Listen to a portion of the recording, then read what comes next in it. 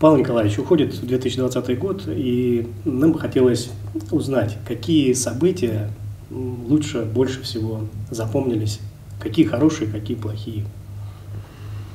Ну, подводя итоги уходящего года, конечно, можно сказать, что это был не лучший год ни в истории совхоза, ни в истории, а, я думаю, нашей республики, района, области. Да, это очень тяжелый с точки зрения а, и общей ситуации со здравоохранением, образованием. Это тяжелый год а, для нас, для предприятия, потому что, конечно, к, к обычным для нас, в общем-то, климатическим невзгодам, которые происходили ну, с определенной скажем, периодичностью, ну, еще и на нас наехали вот эти вот рейдеры, плюс к этому, к сожалению, они поддержаны властью, потому что власть областная, власть местная, после того, как не стало сельского поселения, конечно, сделала все для того, чтобы усложнить жизнь не только коллективу, но вообще всем жителям нашего поселка. А мы, в общем-то, неразделимы.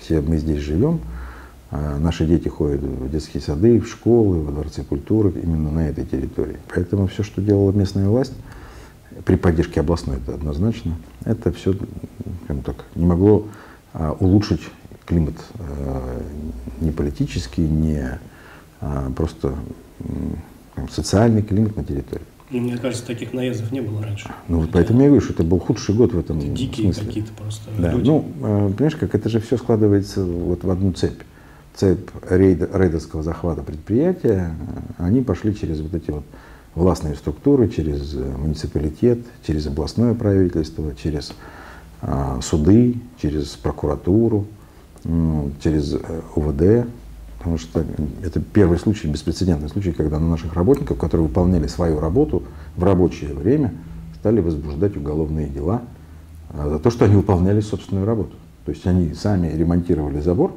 но и за это их решили привлечь к уголовной ответственности. Поэтому это беспрецедентно.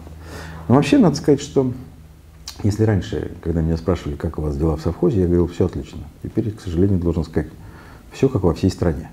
Потому что мы оказались в ситуации, как, в общем-то, вся страна. Потому что а, а куда делись эти совхозы, десятки тысяч совхозов, колхозов, куда делись огромное количество промышленных предприятий? Они просто попали в ту же ситуацию, что мы сейчас испытываем, но несколько раньше. И поэтому история колхоза Горького Владимировича, коммунарки, частично 21 партс... ну, уже полностью 21 партсъезда и частично московского. То есть таких хозяйств, которые гордилась не только наш район или там область, а вся страна гордилась этими хозяйствами. Вот сейчас э, по этому пути решили нас э, заставить пройти. Вот. А мы знаем результаты.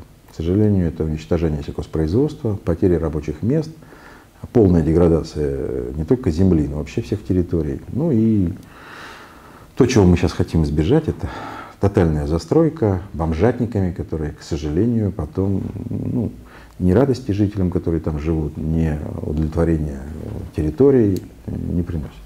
Это экологические проблемы, это проблемы транспортные, ну, в общем, все, все, все проблемы, которые сейчас можно увидеть на землях колхоза Горького, Ильича или других землях, захваченных когда-то этими рейдерами. Вот. Ну, из негативного, знаешь, вот хочется о позитивном, честно, о негативном не хочется говорить. Из позитивного, слава богу, мы живы. Слава богу, несмотря на, конечно, очень тяжелое время, а, у нас с точки зрения производства все хорошо. Мы преодолели все трудности и продали практически все, что мы произвели, я имею в виду землянику, которую нам мешали продавать. А, значит, мы некоторых даже местах увеличили производство, хотя реальный доход населения падает уже седьмой год подряд, и это не способствует развитию бизнеса. Наоборот, мы видим, как многие предприятия, которые, ну, партнеры наши, которые рядом с нами работают, они закрываются, проходят процедуру банкротства. Наши оппоненты очень сильно хотели, чтобы мы попали в процедуру банкротства и начали там, испытывать финансовые трудности. Они сделали для этого все. Вот, э, что Даже могли... присудили вам миллиард, насколько? Ну да, но несмотря на это, миллионов. мы сейчас э, находимся, скажем так, в более-менее нормальном состоянии. Мы в этом году достигли средней зарплаты, это если не считать вот этих топ-менеджеров, так называемых, у нас их 8 человек, и э, ну, иностранную рабочую силу, я имею в виду тех людей, которые приходят к нам паденщиками, работают э, какое-то определенное время, то средняя зарплата в совхозе составила 99 э, тысяч 757 рублей. То есть это ну, 100 тысяч, если просто все считать. то в среднем зарплата 100 тысяч рублей – это очень хорошая зарплата, я считаю, для сельского хозяйства. Вот. И мы практически выполнили то, что задумал директор, руководство совхоза несколько лет назад, чтобы дойти до этой. Если бы еще и курс доллара был адекватным, а не таким завышенным. А вы зависите от него как-то? Ну, мы от него не зависим. Я когда-то своей целью поставил задачу, чтобы среднем работники, без руководителей, получали 2000 долларов а, в месяц. То есть это нормальная, ну, так, европейская заработная плата для сельхозпроизводителя.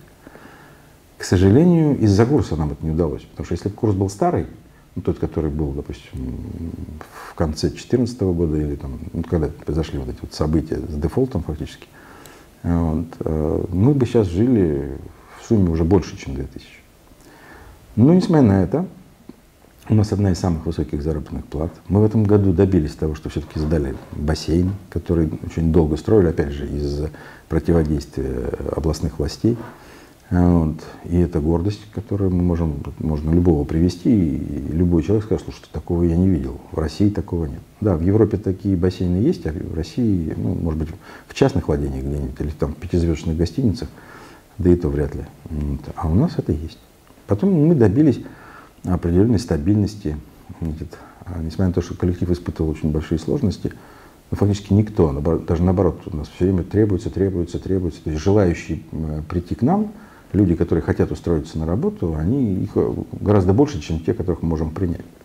А, вот. И никакого, а, никакой вот этой вот текучки, текучки кадров у нас нет, наоборот, у нас э, стабильность. Мы, кстати, а, подводили итоги, торжественное собрание, посвященное э, Новому году, и одновременно мы празднуем День работника сельского хозяйства. Вы там были, видели, сколько наград получили наши работники из Министерства сельского хозяйства Московской области, из Московской областной думы, и у нас заслуженные ветераны, то есть люди, которые проработали 20, 25, 15 лет в совхозе. А, это уже такой коллектив, который может решить любые э, задачи, которые перед ним поставят. Поэтому... Есть уже династия даже, да? Ну, слушайте, династии... Кроме нет, кроме... Нет, у нас же много династий. Э, Причем они очень распространены. Но это всегда было в сельском хозяйстве. Потому что жили э, в селах, в деревнях, ну или там в рабочих поселках. Э, и куда идти работать, если зарплата хорошая, если у тебя перспектива развития. И поэтому дети наших сотрудников, внуки наших сотрудников – это основа трудового коллектива. Поэтому династии, третье, четвертое поколение, которые работают уже, а совхозу еще раз 102 года – которые работают, не одно поколение работает в совхозе, их очень много, этих людей. Поэтому моя династия, наверное, она одна из самых, э, ну, скажем так, крупных, но не самая крупная. Вот. А кто самый? Честно, у нас были династии, вот, кстати, э, замдиректора по э, экономике, по финансам Ефимова, у нее папа, мама, брат – а, значит, рост родителей, э, ну, то есть бабушка и дедушка, они все работали в совхозе. Вот. И таких очень много. Потому что, ну а что, а, у Людмилы Ивановны папа был трактористом, мама рабочий в поле, а, ну, брат он тут на нас работал компьютерщиком. Вот. Ну и потом у них куча братьев и сестер, там, я просто даже Смирнова Александра, отчество не помню, Значит, она его, ее тетя, значит, она тоже всю жизнь проработала в совхозе. Таких династий очень много. Вот. Поэтому мы э, можем смело сказать, что у нас коллектив, который, если нас эти враги, а я их называю не иначе как оккупантами, не завоюют, значит, э, тем более, что оккупантам никогда не должна помогать вот, действующая власть, а она просто э, через судебную систему, через правоохранительные органы, через а, судебных приставов, она фактически не то, что им потакает, она просто за них захватывает предприятие. Павел Николаевич, ну вот это как раз и больше всего обращает на себя внимание и возмущает.